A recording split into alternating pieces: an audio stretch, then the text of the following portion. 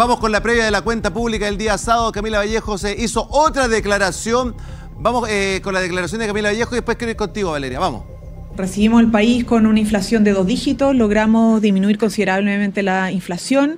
Eh, la misma oposición que dice que no tenemos buena gestión decía que el país va a decrecer y el país está volviendo a crecer gracias a la responsabilidad fiscal que hemos desarrollado.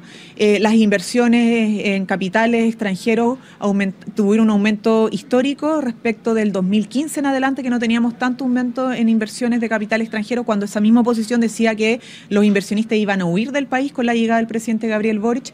Han estado muy equivocados en esas críticas eh, y son los hechos los que demuestran esa equivocación. Eh, tenemos un país que está desarrollando su hidrógeno verde, gracias también a la gestión de este gobierno, que tiene trenes para Chile, gracias a la gestión de gobierno, que tiene una estrategia nacional de litio, gracias a la gestión de gobierno, eh, que tiene copago cero, gracias a la gestión de gobierno, que tiene 40 horas implementándose gracias a la gestión de gobierno. Frísame, te quiero pedir, te quiero pedir, eh, un poquito zoom. ¿Quiénes son los que están? Eh, eh es achurra, ¿no? Este... Sí, pues sí, trabaja en eso. Sí. Achurra. Y, y, la, chica está, eh, ¿cómo se llama ella? Subsecretaria. La, la subsecretaria. Eh, Nicole Cardoch. Nicole Cardoch. Subsecretaria. Ya, ellos, de inicio estamos, de gobierno. Estamos, estamos flor, por lo que escucho, ¿no? Estamos en el mejor, el mejor de los mundos, ¿no, Valeria? Ah, estamos eh, pujantes con el litio, hidrógeno verde estamos, pero así, ya, pero eh, Alemania listas de espera están bajando como locos. Bueno, estamos. A ver, Valeria. Valeria venía feliz, por favor, no me la quemen. Venía no, feliz. sí, voy a seguir feliz. Ah, pero es que, mira, ¿sabéis qué pasa? Porque igual es chistoso. Sí, es súper chistoso porque por un lado dicen, ¿sabéis qué? Es un fracaso político este gobierno porque están aprobando las leyes de seguridad de la derecha. Y para el otro lado dicen, es un fracaso político porque antes no aprobaban las leyes de seguridad y todo eso. Entonces estamos igual al medio, peleando todo fracaso político. ¿A mí qué me importa? Que hagan la pega, sí, que inviertan, sí.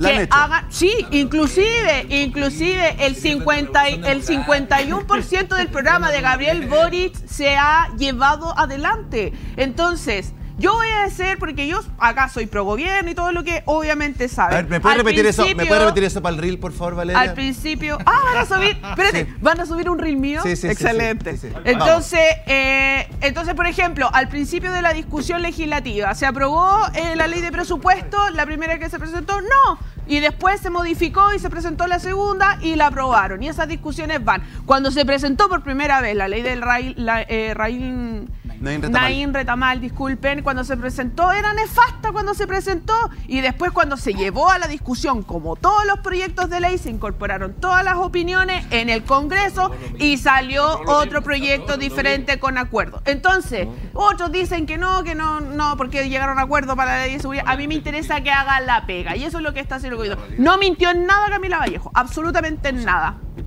A ver, eh, eh, Rocío Cantores se está, se está, agarrando la cara ya. A ver, Rocío, y después voy contigo, Ignacio. Es que yo, yo creo que, el, que el, ¿cómo, ¿cómo decirlo más elegantemente? Es que no puede ser más cara de raja.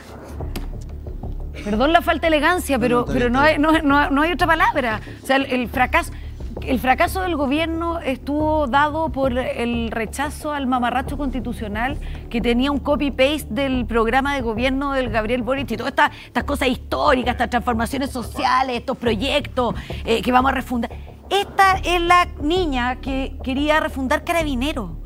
Entonces, bueno, por favor que siga alguien más. No, Ignacio, nivel Ignacio, de Ignacio, puede contigo Agustín. No, pero es que, mira, ¿sabes siempre, habla del, siempre habla del primer proceso. Sí. Oiga, sí. se rechazó. Sí. Ya, sigamos. Gonzalo. No sé, no, eh, Valeria. Sigamos, sigamos, sí, para que no. Valeria, no, y, no, y, no te, y, no te, voy a insultar ni nada por el estilo, pero ya pasó.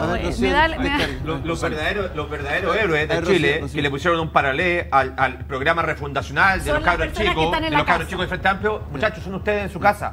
Ustedes le ganaron a la izquierda. Ustedes le dijeron que no a la izquierda refundacional. Ustedes dijeron rechazo al mamarracho plurinacional. Ya, ya, ya, ya, pero Rocío, ya, para hablar Rocío no habla. Ignacio ya, ya, ya, ya. No, no, muchachos, pero vengamos una hora. Ignacio, Ignacio. Ya, ya, están muteados todos, Ignacio. Es total... Ya, ya, Valeria. Es totalmente, es totalmente legítimo hacer una crítica a este gobierno desde la izquierda. Porque este gobierno generó una expectativa demasiado alta en la ciudadanía con algunas promesas que las detallamos rápidamente. Nosotros hablábamos de igualdad, de equidad, ¿no es cierto? El año 2006, Gonzalo, el 10% más rico de la población ganaba 27 veces más que el 10% más pobre. Al año 2023, el 10% más rico, 42.7 veces más que el 10% más pobre. El año pasado se pensionaron 158 mil personas, 84 mil mujeres. El 50% de esas 84 mil mujeres solo logran autofinanciar pensiones por 49 mil pesos. Nos prometió el presidente Gabriel Boric, ¿no es cierto?, solucionar el problema de las pensiones, solucionar los problemas de desigualdad. Eh, nos, nos prometió resolver, punto 11 creo, ¿no? Número 11 del programa de gobierno condonar la deuda educativa, no se dieron cuenta que eran 11 mil millones de dólares, el 4% del PIB que era imposible eh, condonar. Entonces, este es el gobierno de las promesas. El 71%, Gonzalo, de las trabajadoras y trabajadoras de este país gana menos de 700 mil pesos. Habían hablado de los aumentos, yo sé el sueldo mínimo, yo sé lo otro. No es suficiente para lo que prometieron. Si ellos hubiesen prometido estabilidad, ¿no es cierto?, regularización, algún término intermedio, estoy de acuerdo. Pero lamentablemente la oferta fue 20 y cumplieron 7. Con mucho cariño, Valeria, decirnos que han cumplido con el 51% del programa, cuando en realidad los grandes caballitos de batalla de esa campaña fue la justicia social, la educación, eh, salud, pensiones, y de eso nada. A ver, eh, eh, diputado. Yo la verdad las cosas que creo sinceramente que la ministra Vallejo tiene un don, o sea, de verdad se pone yeso en la cara y no se le mueve un pelo para decir una cantidad de mentiras. Yo no les creo nada. No les creo nada precisamente porque hoy día lo que estamos viendo es que han visto que en las encuestas el tema de la seguridad y el apoyo a nuestros carabineros es lo que la ciudadanía quiere. ¿Y qué pasa? Tenemos elecciones municipales, Gonzalo, y el próximo año presidenciales. Entonces hay que darse la vuelta rapidito. ¿Te fijáis? pero yo no les creo. ¿Por qué? Porque por cada ley de seguridad que la aprobamos, todos los de derecha, y no la aprueban los oficialistas, hay una indicación o hay un proyecto para dejar sin efecto lo anterior. Y eso pasa con la RUF. Las RUF, por ejemplo, que hoy día se están discutiendo en el, Congreso, las reglas de uso de la fuerza establecen mecanismos para que en caso que no se respeten después de poner una sarta de imbecilidades para que el carabinero pueda actuar, eventualmente podría quedar sin aplicación la ley en retamar. Ahora, ¿qué estamos viendo? Que finalmente este este sábado vamos a ver un cuento. Y como decía Pancho hace un rato, nosotros, yo ya vi la sinopsis de esto, lo vi en la nave, mintiendo descaradamente el presidente, diciendo que vamos a tener materia energética eh, sustentable, verde en cuatro años. O sea, un nivel ya de mentira, de cosas irrealizables. Pero yo no les creo, esto es electoral. Hoy día vemos a los alcaldes de izquierda tratando de sacar dos rucos por ahí y lo veo en mi distrito. ¿En qué se ha avanzado en inmigración ilegal en Chile? Nada. Siguen en mi distrito llegando, llegando eh, tomas de campamentos y no se saca esta gente de este país. Seguimos con los mismos balazos todos los días. ¿Estabilidad? Sí, tal vez estabilidad. Dos, dos baleados por día. Eso es la estabilidad que están. Carabineros, ¿cuántos carabineros muertos al mes? Esa es la estabilidad que les ofrecieron al país.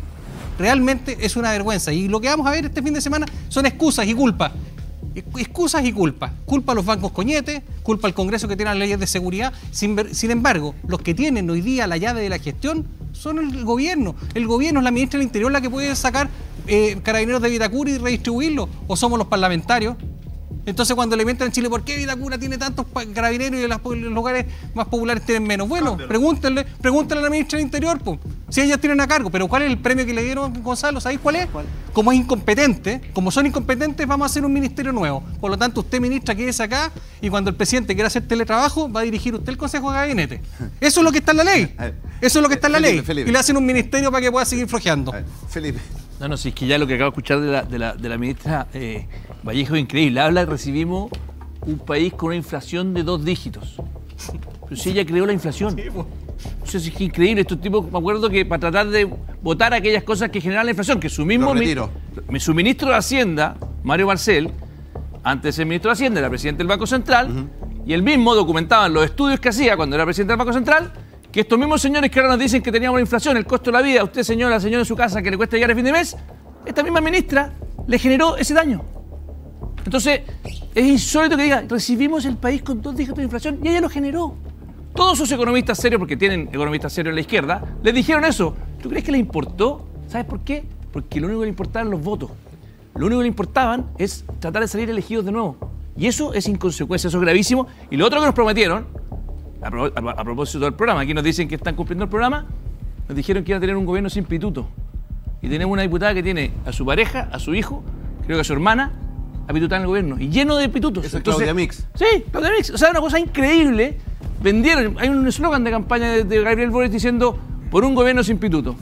Llegan al gobierno y se les da lo mismo. Entonces, honestamente creo que Camila Vallejos baja un par de cambios, un poquito más de humildad y ojalá que construyamos un país todo más serio y sin menos, con menos. Complementando lo que dice Felipe sobre la inflación, ellos eh, contribuyeron, o sea, gracias a ellos teníamos estos dos dígitos de, inflación, pero ellos no contribuyeron a disminuirla.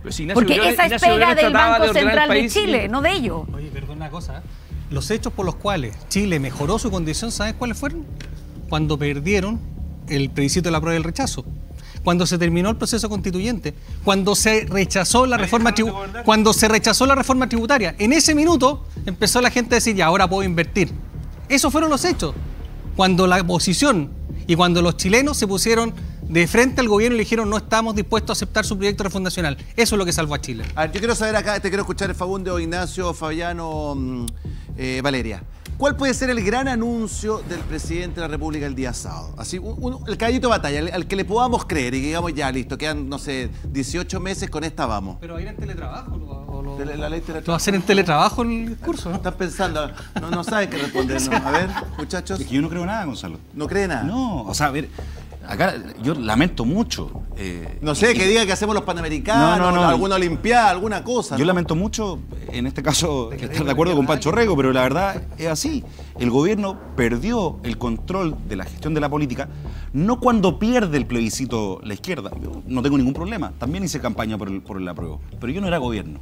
Ellos dijeron que el apruebo era fundamental para su gestión de gobierno.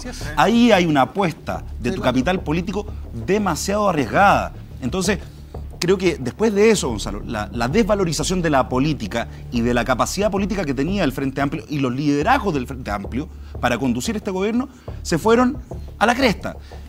Recordemos que el hombre ancla, el líder natural del Frente Amplio, además del presidente, era Giorgio Jackson. Hoy ya sería bueno preguntarse dónde está Giorgio, ¿no es cierto? Porque quien conduce el gabinete de ministros y ministras es Carolina Toá.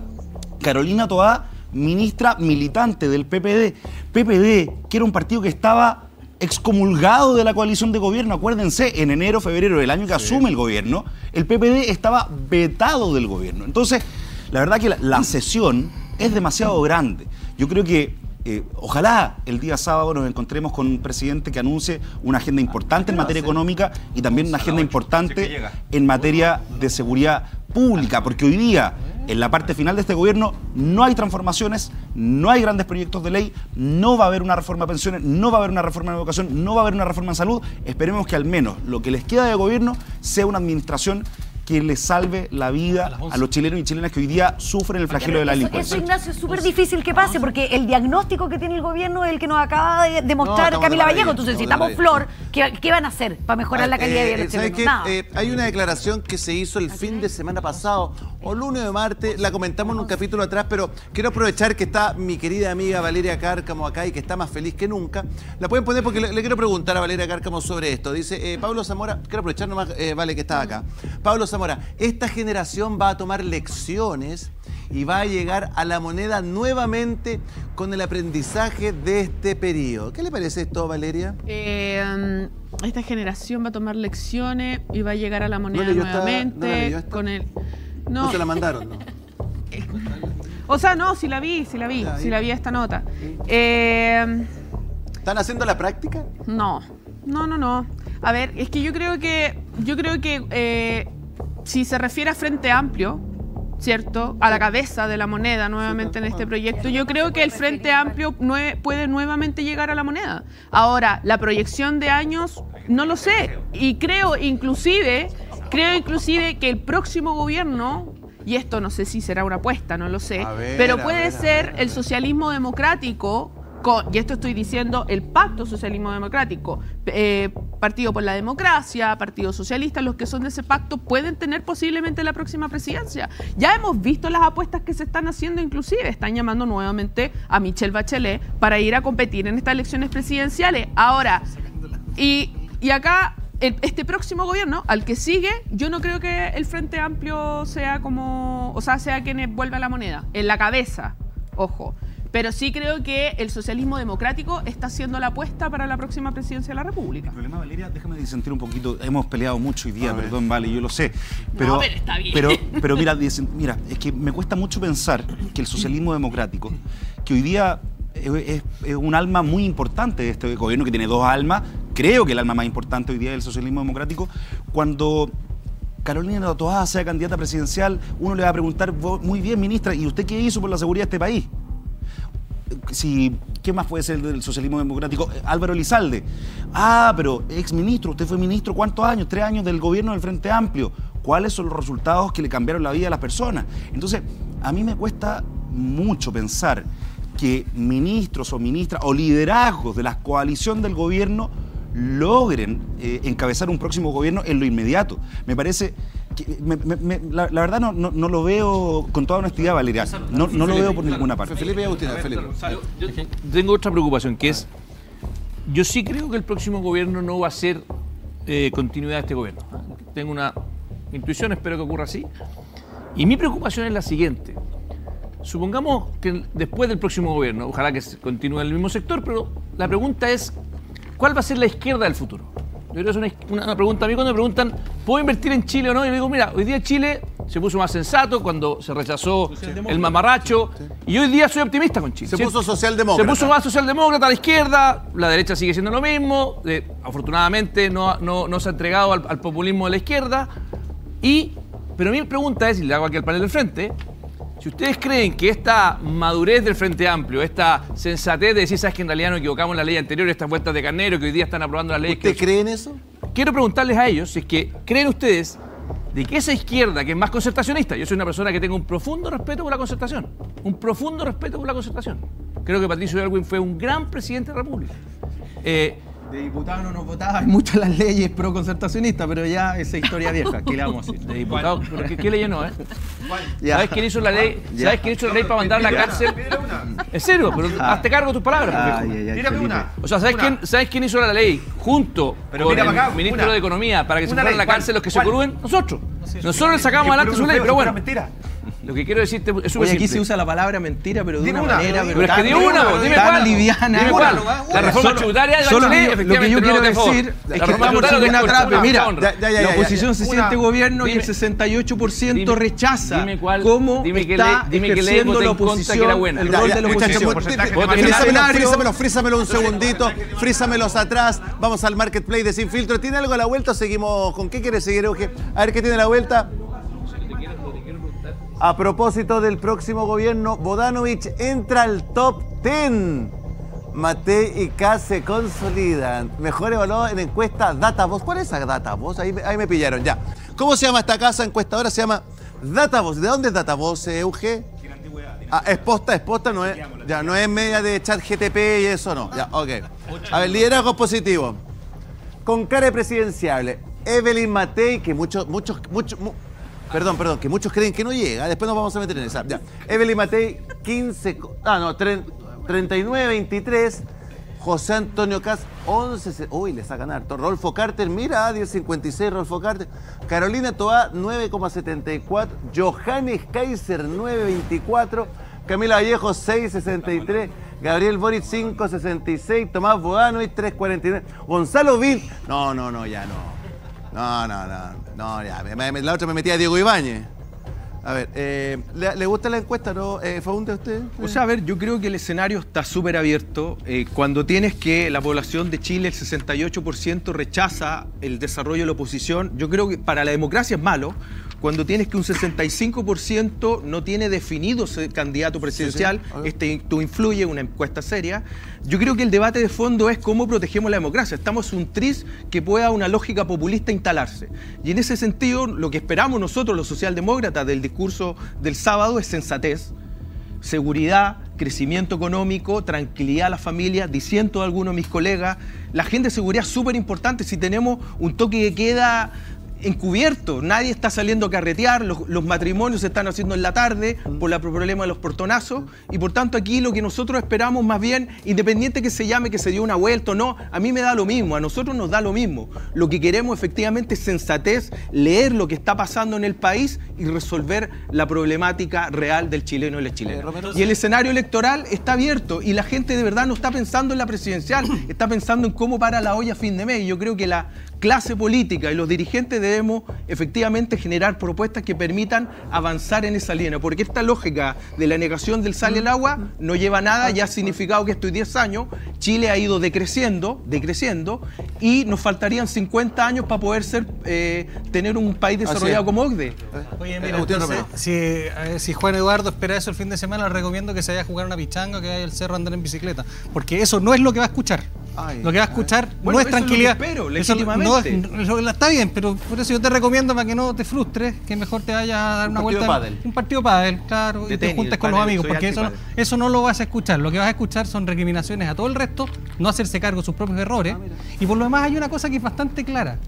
Yo creo que sinceramente lo que está pasando acá es que el socialismo democrático eh, se está dando cuenta de que no puede seguir cobrando con esta gente. Y lo estamos viendo en el CAE.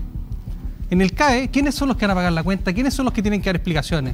Los ministros que son los responsables de manejar el bus con el apoderado a cargo del gobierno. El ministro Marcel, la ministra Toá, el ministro Lizalde.